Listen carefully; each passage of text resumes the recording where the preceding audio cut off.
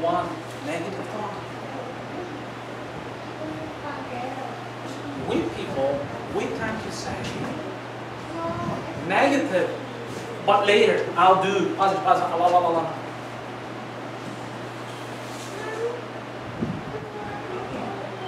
Jesus, take out negative thoughts. Negative thoughts are very dangerous. There are people bodily have become sick because they're. There are people who have gone broke because their. There are people who have lost jobs because their are negative.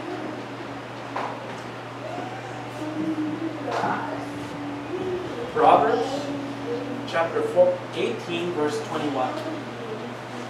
Death and life are in the power of the tongue. And those who love it will eat the fruit.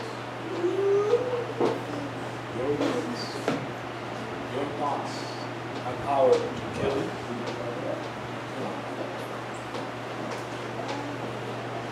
Let's. Father God, Father God, thank you for